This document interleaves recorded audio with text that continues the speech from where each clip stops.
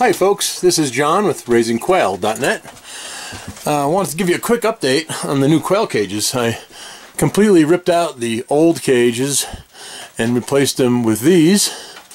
Came out pretty nice.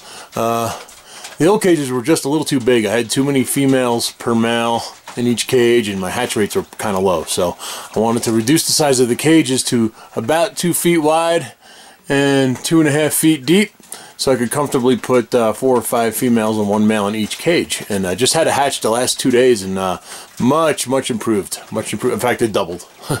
so, uh, same watering system as before, just uh, built a little better, more secure. Same watering cups on the inside that they drink out of.